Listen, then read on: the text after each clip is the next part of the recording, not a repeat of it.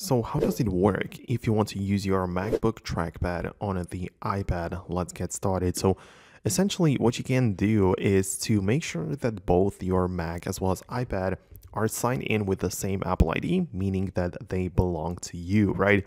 Then you need to connect both devices to the same Wi-Fi network and make sure that the Bluetooth is turned on. So then on your Mac, you can open up the settings and proceed to the displays, right? So you can scroll down in here and tap on a displays. From the options, you can click on add a display and you can choose your iPad to essentially be uh, added to the list right there. So you can see that this is the iPad. You can add it right there.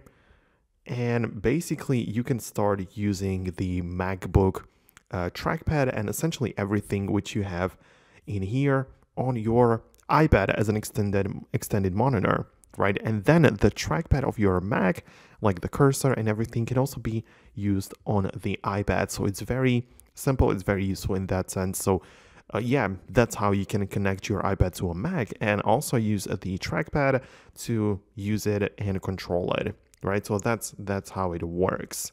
If you would like to stay within the iPad OS and not do the whole display thing, well, you can connect a third party or, I mean, external uh, trackpad like the uh, Magic trackpad, which you can buy like separately.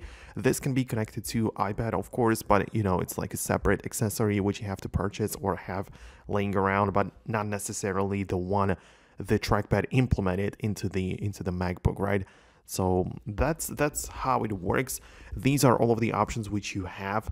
Uh, let me know below in the comments what you uh, think about this or if you have used this feature before. Subscribe for more tutorials and explanations like this one and I will catch you later in the next video.